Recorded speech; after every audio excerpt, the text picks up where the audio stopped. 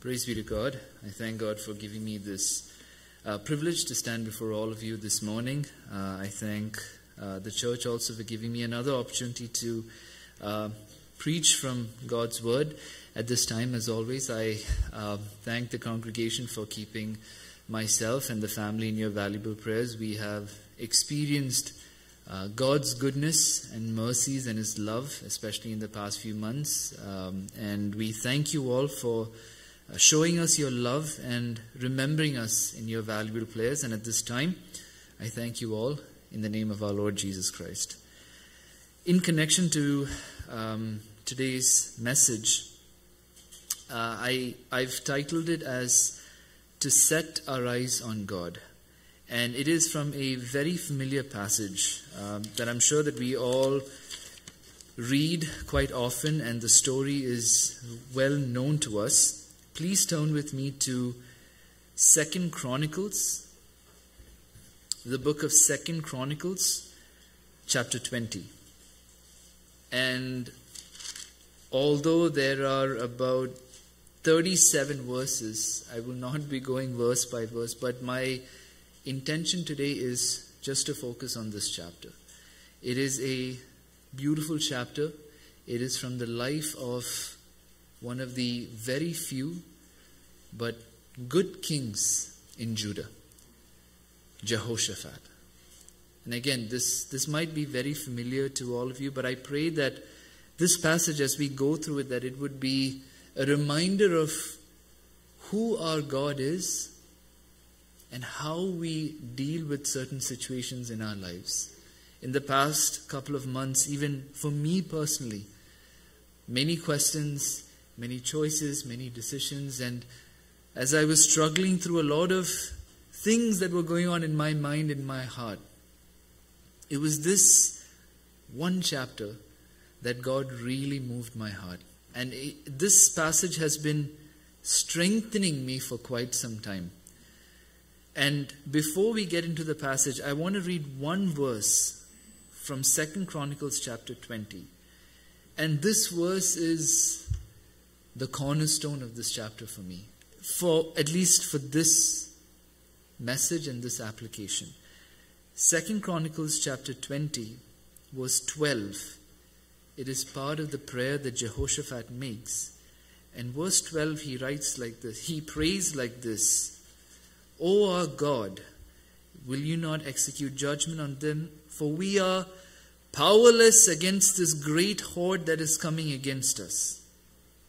And it is this last part which has really moved and strengthened my heart. He says this We do not know what to do. We do not know what to do. But our eyes are on you. We do not know what to do, but our eyes are on you. This is the verse, dear brothers and sisters, which has really moved my heart and strengthened me this morning. And even for the last month. And I pray that as we go over this prayer of Jehoshaphat, that we will be encouraged and, and live our lives for the glory of God. So let us start by reading chapter 20, verse 1 onwards. Reads like this After this, the Moabites and Ammonites, and with them some of the Meunites, came against Jehoshaphat for battle. Some men and came to and told Jehoshaphat, A great multitude is coming against you from Edom and from beyond the sea, and behold, they are in Hazan Tamar, that is En-gedi. Then Jehoshaphat was afraid and set his face to seek the Lord and proclaimed a fast throughout all Judah. And Judah assembled to seek help from the Lord. From all the cities of Judah they came to seek the Lord. Let us turn to God in prayer. Our Father in heaven, as we are seated in your presence, we continue to give thanks to you for the blessed time that you gave us to worship you and to remember what you have done for us through your Son. We are seated here before you, O Lord, to hear from your word. And as I stand, I pray, O Lord, that you would help me to be a pure channel of your grace. And as we read from your word, we are reminded that this is your word Please let it be a blessing to our lives, Lord. Help me to preach faithfully, and I pray that those who hear, that hearts would be moved, and in the coming days that we would be doers of your word, O Lord. Thank you for the life of Jehoshaphat. Thank you for this chapter, O God. May your name be glorified. In Jesus' name we pray. Second Chronicles, First and Second Chronicles, as a quick context. We don't know who explicitly wrote it, but tradition says that it was the prophet Ezra. And when was this book written? This book was written when the people of Judah and Benjamin are now returning from Babylon after exile. And this book is written for people who are settling down in Jerusalem and they're looking around and they're seeing broken walls. They're seeing destruction.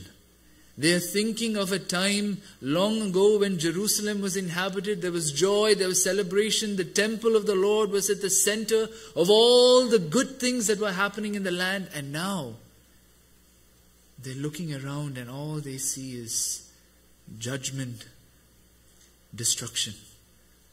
And the temple is being rebuilt, but they know that it's not going to be as glorious as it was.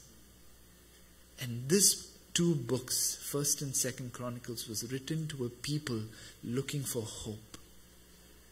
A people in the midst of judgment and destruction. And it was written to them to remind them of what happened before to remind them of why these things happened to their forefathers and their fathers, but also to remind them God is in control. There is a blessed future for those who call upon the name of the Lord. And so now in Second Chronicles we go through many kings and we see in chapter 17 and 18 we see a good king Asa and it is his son who was 35 years old when Asa died, and now Jehoshaphat has ascended to the throne. And in chapter 20, this young man is faced with a great enemy. There is a great enemy. The Moabites and the Ammonites and some Meunites have joined forces and now they have marched against Judah. And then in verse 2, we see men coming and telling Jehoshaphat, There's a great multitude coming. What are you going to do? And then we see the response of Jehoshaphat. There is a great army.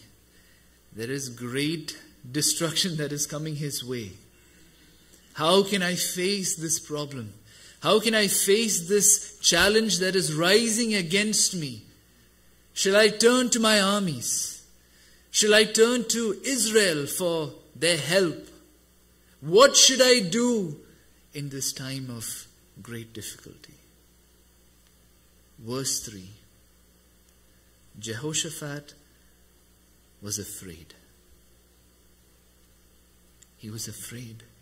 We think, or I was thinking, godly men, you know, godly men in their leadership, in their power, how can they be afraid? You know, they are in the presence of God. Why should they be afraid? But even this verse was reminding me that even the strongest feel fear. Even people with wisdom have questions and doubts.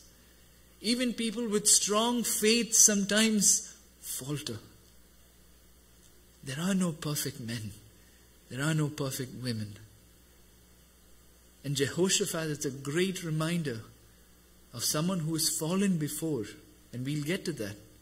But now he's learned his lesson.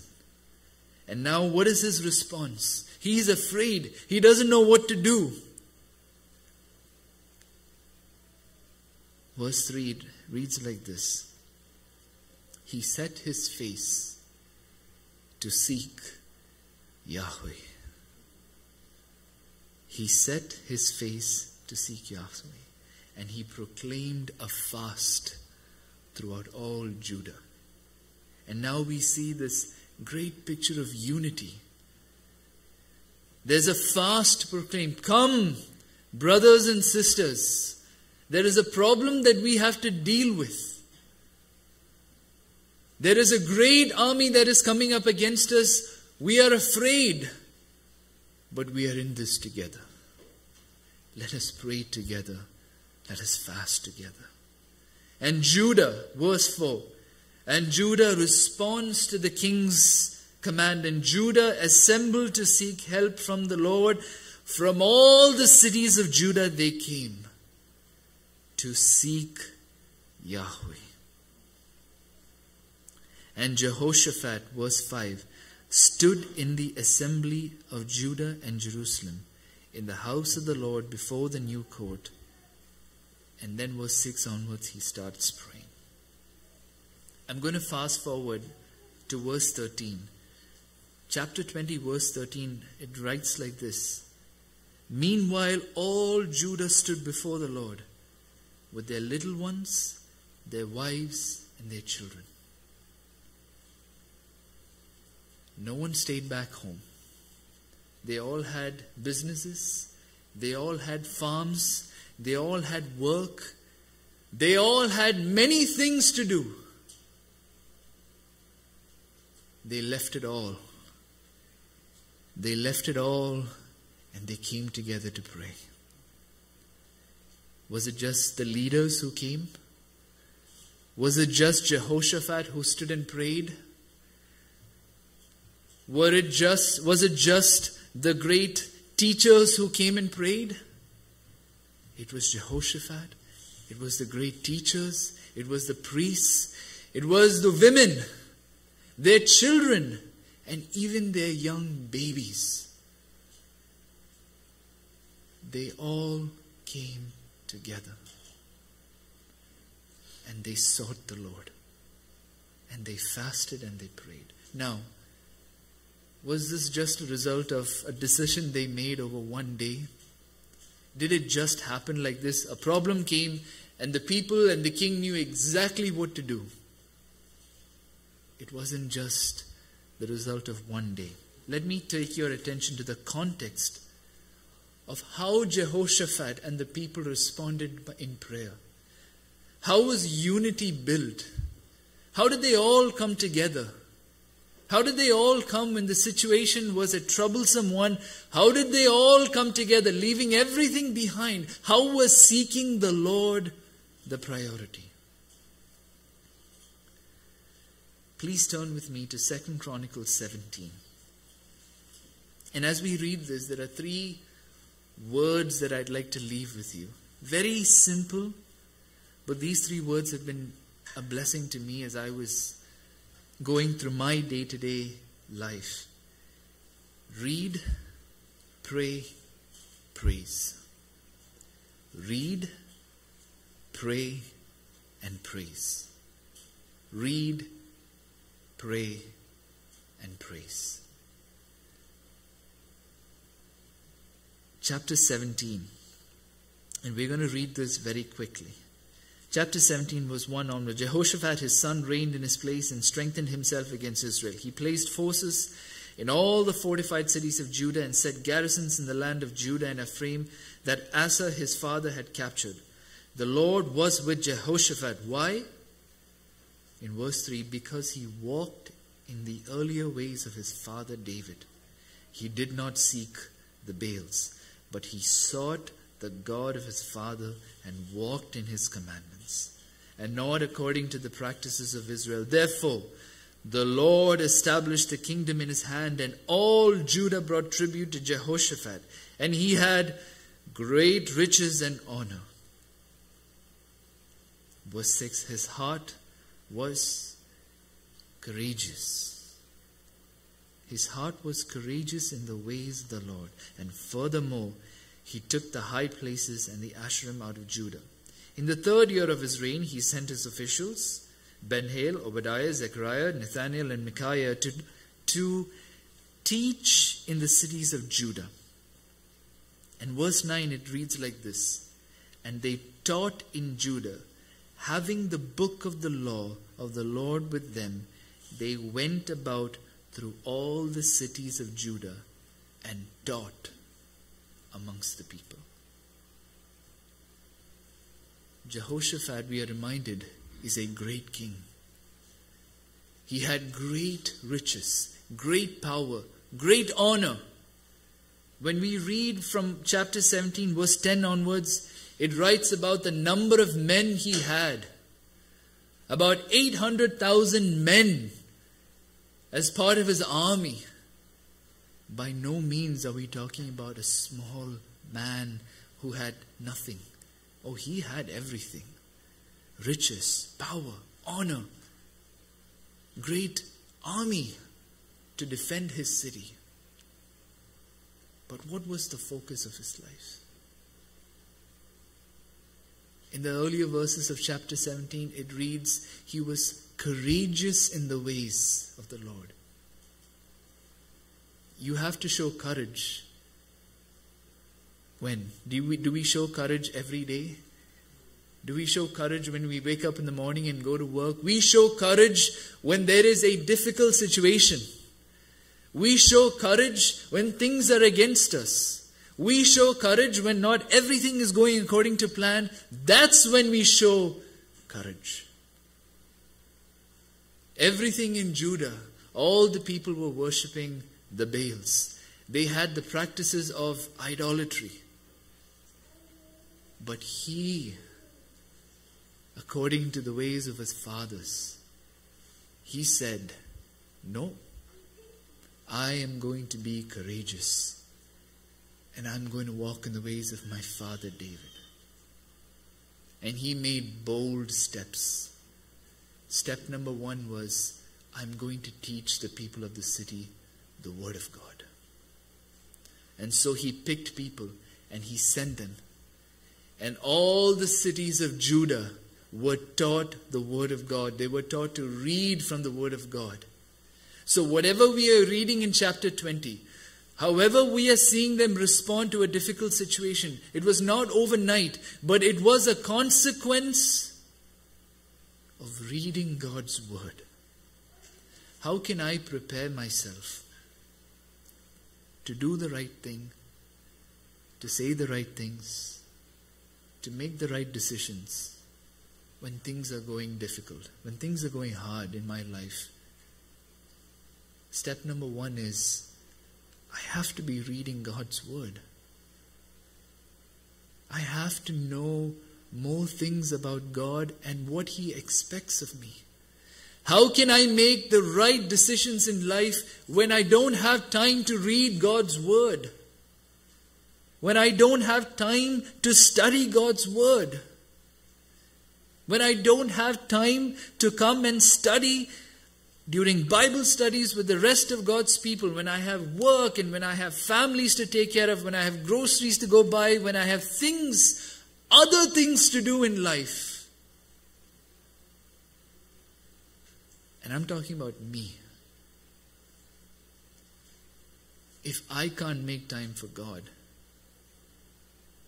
if I can't make time to read God's Word and to study God's Word with the rest of His people, how can I expect to enjoy God's blessings? Dear brothers and sisters, Jehoshaphat and the people of Judah did the right thing. Why? Because they read God's Word and they knew God's promises. They knew that if they called upon the Lord, that if they set their face upon the Lord, Yahweh will answer. There is no doubt. He will not forsake his people. And so, the application that we have to take, dear brothers and sisters, we have to find time to read word, God's word. We have to find time to come for a Bible study. We have to find time. I have to make that time. Because that is the priority. Because that is going to build me and my family. Because there is a difficult situation right around the corner. And when that situation comes, I need to know how to handle it. And it starts by reading God's Word with my family and with God's people. Verse 10, chapter 17. And the fear of the Lord fell upon all the kingdoms, and they made no war. There was a time of peace. And so Jehoshaphat, and we are thinking, now he's done what is right, it's all going to be peace from here on. I've, I've uh, taken out the high places, I've educated the people, I have courageously kept God as my priority when others haven't. I've done everything that is right. I hope this peace goes on for the rest of my life. But we fast forward in chapter 18, Jehoshaphat makes a mistake. Great men make mistakes. All men make mistakes. He allied with King Ahab. Then a prophet comes and he tells Jehoshaphat, You made the wrong choice. You've sided with those who don't follow God, but God is still with you. And so we can still expect peace, right? We're doing the right things. Why would problems come our way? Now we come into chapter 20. From nowhere. When there was peace in the land, when God had placed fear upon the surrounding nations, from nowhere it seems three great armies have united themselves even when we do the right things, dear brothers and sisters, we will have challenges. We will have tribulation, suffering, affliction. We will have doubts. We will be afraid. But that's okay. Because a great man like Jehoshaphat was afraid. And there are going to be difficult situations. If we just got through one, believe me, there's another one waiting for us right around the corner. And that applies to our church, it applies to our families, and it applies to our own individual lives. But how do we deal with difficult situations? How do we deal with fear? When I'm afraid, when I'm doubtful, when I can't seem to make the right decision? we read God's word and we prepare our hearts. That's step number one. Step number two, we go back to Second Chronicles 20 and we read from 6 onwards. Now, this is a beautiful prayer. I wonder how many of us pray like this. If we actually look at our prayers, and if I look at my prayers, I know what is coming next. I've rehearsed my prayer night after night, day after day. I say the same things. And it's more so about me getting from God what I want rather than actually what Jehoshaphat did was setting my eyes on God and seeking Him. Please ask yourselves do we pray like this? Do we call on God like this? This is what Jehoshaphat prays in verse 6 onwards. O Lord, God of our fathers, are you not God in heaven? You rule over all the kingdom of the nations. In your hand are power and might, so that none is able to withstand you. Did you not, our God, drive out the inhabitants of this land before your people Israel and give it forever to the descendants of Abraham, your friend? And they've lived in it and have built for you a sanctuary for your name, saying, If disaster comes upon us, sword, judgment, pestilence, or famine, we will stand before this house and before you, for your name is in this house, and cry out to you in affliction, and you will hear and save. And now behold, the men of Ammon and Moab and Mount Seir, whom you would not let Israel invade when they came from the land of Egypt, and whom they avoided and did not destroy. Behold, they reward us by coming to drive us out of your possession, which you have given us to inherit. O our God, will you not execute judgment on them? This great King of power, glory, and honor. This is what he says in verse 12 in the latter part. we are powerless. 800,000 men this king had. He had Israel right next to him for an ally. He could have taken them on. But he stands before God and he says, We are powerless. I have nothing. All that I have is nothing. We are powerless. And then this great king, son of David, leader of Israel, the commander in chief of the armies of Israel, before the people says this We don't know what to do. I've always, as, as I was meditating on this passage, and as I was mentioning, you know, when you think and you, you come across situations when you, you have to make choices, you have to make decisions, and you think, God, what is the right thing to do? You probably, or I probably look at leaders, be it in the church or be it outside, and you think they should have all the answers. Even the pressure of being a husband and father. I'm thinking to myself, I should have all the answers. I should be able to lead my family. I should be able to make the right decisions for my family. I should know what the right thing to do is. But sometimes, be the leaders of this church, be the leaders of our homes, be it mothers or wives, sometimes we don't have the answers. But the beauty of this chapter reminds us it's okay to not have the answers sometimes. It's okay not knowing what the best course of action is. You see, the people didn't come together, they didn't plan a strategy. They didn't come together and say, let's think about this and figure out the right way to do this. They came together, and the king said, We don't know what to do. How honest are we in our prayers like this?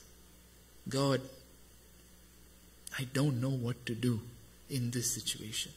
I don't have the right answers. I don't know what the right next step is. We don't know what to do. If the story ended there, we would not be here today in this chapel. If the story ended there, there is no hope. If the prayer ended there, it would be a half ended prayer. But Jehoshaphat doesn't end his prayer there. He says, We don't know what to do. God, we remember. In our prayers, we go before God and say, God, I remember what you have done. I remember what you did in the lives of the Israelites. I remember what you did in the Word of God. I remember what you have done through all of history. I remember what you have done in the days of my fathers. I remember your promises, your covenant. How many of us pray like this? How many of us quote God's promises back to Him? How many of us remember? Jehoshaphat remembered, the people remembered because they kept reading the Word of God. And in our prayers, we can be honest like Jehoshaphat. We can be honest before God. And we go before God by saying, God, we don't know what the right thing to do is. But, but, just like Jehoshaphat, we set our eyes on you. Yahweh, God of Israel, God of our fathers, God of David, Jehoshaphat says, Will you not answer us? You told us when Solomon built this temple. Solomon prayed, God, when a great army comes against us and when your people call upon you, you must answer. We set our eyes on the God who hears and answers. A dear brother of mine, I was sharing my thoughts, my frustrations with him, and I said, I've been praying and praying and praying, but I seem to have no answer from God. There's silence. And then he said to me, Do you think God is not hearing your prayer? Do you think He does not care for you? Do you think that He does not hear the prayers of other people who are praying for the same things? Brothers and sisters, our God is a God who hears us, who answers us, who is there with us. He is our God. And just like for Jehoshaphat, we too can pray. We set our eyes on you, O God. We don't know what to do. But we set our eyes on you. Why? Because we trust in who you are.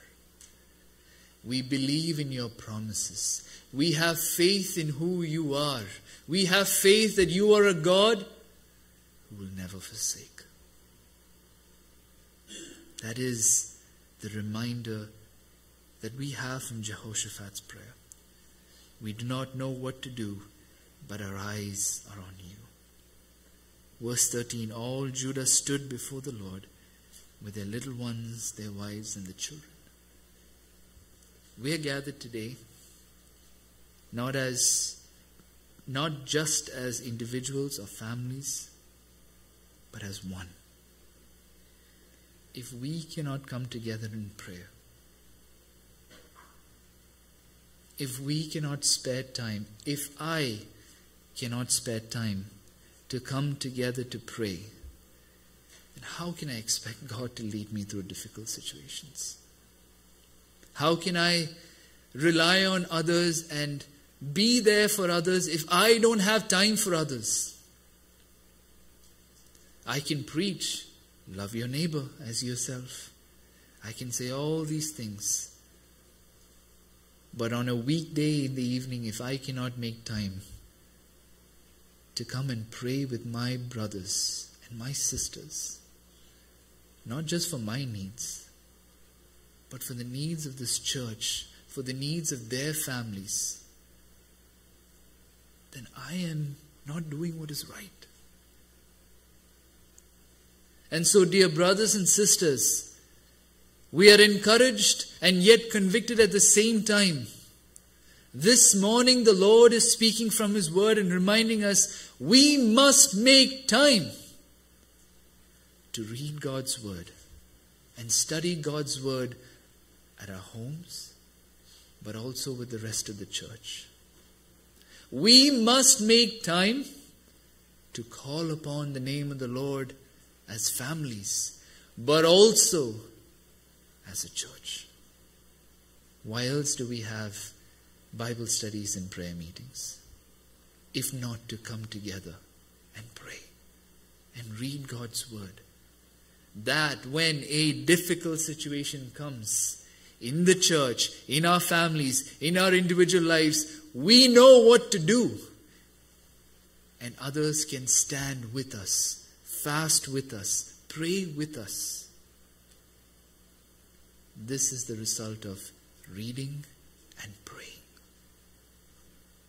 read, and prayer. All Judah stood before the Lord with their little ones, their wives, and their children, and they all prayed. Verse 14 And the Spirit of the Lord came upon Jahaziel, the son of Zechariah, son of Benaiah, son of Jeiel, son of Mattaniah, a Levite the sons of Asaph in the midst of the assembly, and he said, Listen, all Judah and inhabitants of Jerusalem and King Jehoshaphat. Thus says the Lord to you. What does he say? What does he say to King Jehoshaphat who is afraid? What does he say to the people who are gathered there and fasting and praying? They're all afraid, and yet their eyes are on the Lord. And now the Spirit of God comes upon this prophet, and the words of Yahweh sound forth. And what does he say? What does he say? Do not be afraid. Do not be dismayed at this great horde, for the battle is not yours, but God's. Do not be afraid, do not be dismayed. This battle is not yours. This is Yahweh's battle. Tomorrow, and the word of God said, Tomorrow go down against them Verse 17 You will not need to fight in this battle. You don't need to fight in this battle, Jehoshaphat. Stand firm, hold your position, and see the salvation of Yahweh on your behalf. O Judah and Jerusalem, do not be afraid and do not be dismayed. Tomorrow go out against them, and the Lord will be with you. When Jehoshaphat admitted that he is nothing, a great king, but before the King of Kings, he is nothing. When the people came together, when the people prayed together, when the people fasted together, when there was a problem in their lives, when they did it together, Yahweh responded. And what did he say? People, Jehoshaphat, don't be afraid. Do not be dismayed because they were. I am with you. This battle is not yours sometimes we just quickly read through this. And I want to emphasize on this. It's not that this battle was a surprise to the Lord. It's not that when they prayed, the Lord on his throne said, Oh, these people are coming. Let me see what to do. Our God is not surprised by the events of our lives and the problems of our lives, though we may be. But He knows. He knows there is a battle. He knows. But when the people set their eyes on him, he said, There is a battle, all right, but this is mine. I'm going to fight this. What do you have to do? Jehoshaphat, get up. You go make a stand. You go stand there and be firm and watch what Yahweh is going to do for you. Sometimes, now this command, this is particularly for Jehoshaphat in this context. Sometimes, dear brethren, we just need to stand. Sometimes all we need to do is take a step back and remind ourselves God knows what I am going through. God knows what this church is going through. God knows what our families are going through. God knows what is going on in my life. He knows. I just have to stand and be firm. And if I do that, I will see what God is doing. For His glory. And in verse 17, in the end, He says, you will see the salvation of Yahweh on your behalf. He is doing this for you. As we sit here, how many battles has God fought in our lives for us? How many times did God come in and save the day? How many times when we called upon Him, sometimes we waited, sometimes we didn't, but our God always answered. That is what we rely on going forward tomorrow. The one who answered us before will continue to answer us tomorrow. The one who fought our battles till yesterday will continue fighting our battles. Stand firm and see what God is going to do on your behalf. Read God's Word. Make time to read God's Word by ourselves and with the people of God. Pray. Pray like Jehoshaphat. Pray by yourselves and pray with the people of God. And finally, we come as we come to the end of our time. In verse 18, there is a response of Jehoshaphat. And I keep reminding myself this is the king. This is the descendant of David. Great power, great riches, honor. This is the king. Verse 18 Jehoshaphat bowed his head with his face to the ground. He bowed his face to the ground, and all Judah and the inhabitants fell down before the Lord. The king, the people, fallen down on the ground with their faces on the ground, on the dirty soil. Why? Because they were worshipping Him and praising Him, acknowledging who He is, and the mere fact that God responded to them on the ground. When's the last time we were on our knees praying? When is the last time our faces touched the ground and praised the God who made the heavens and the earth? We have no time, and praise God, we have chairs. When is the last time I did that? Am I better than King Jehoshaphat? Am I higher in rank? If a king can stoop down, I can. If a king can acknowledge his shortcomings, I can. If a king can go before God and say, I don't know what to do, I can do the same.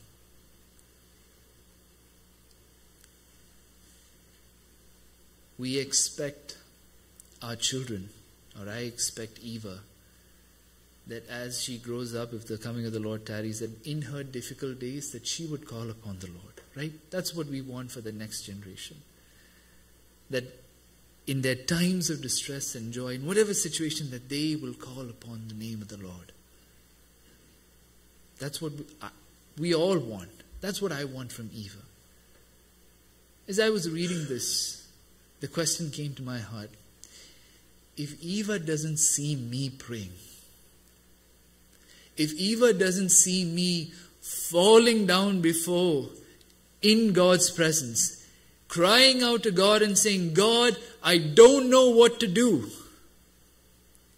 If Eva sees me in all my weakness and all my shortcomings, in my moment of great despair, that she sees me on my knees calling to God, isn't that the example she needs going forward?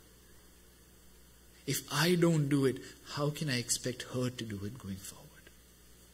If I pretend that I have all the knowledge and all the answers to everything, how can I expect her to be humble going forward?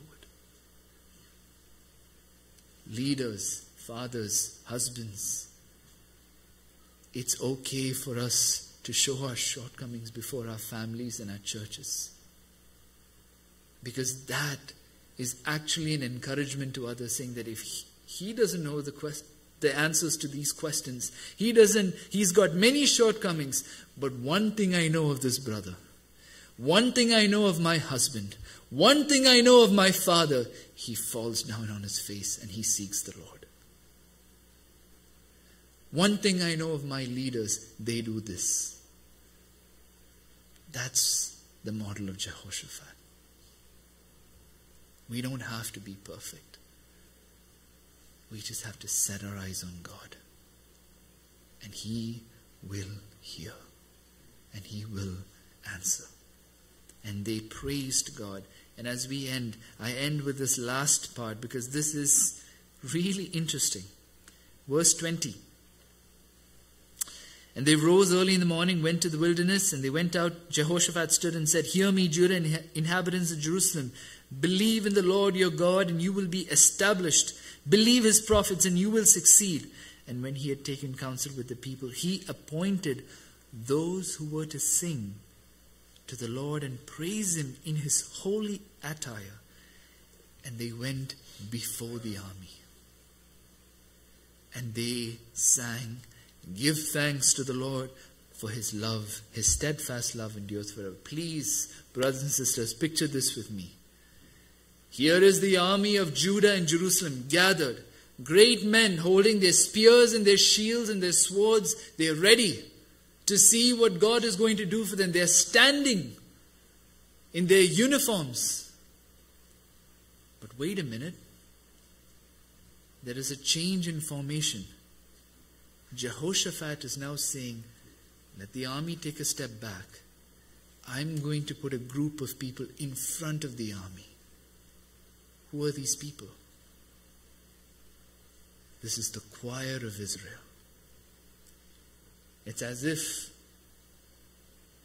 Joseph and Jobin and the rest of today's choir stood before an army and said, Sing. The first question they're going to ask is, what am I doing here on the battlefield? My profession is to sing, not fight. An awkward place to be.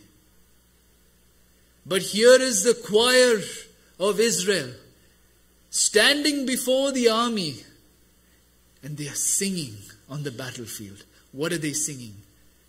Give thanks to the Lord for his love, his steadfast love endures not just today or tomorrow, forevermore. Jehoshaphat says, I'm going to praise God. We are going to praise God on the battlefield, in front of the army. That's where they're going to praise Him.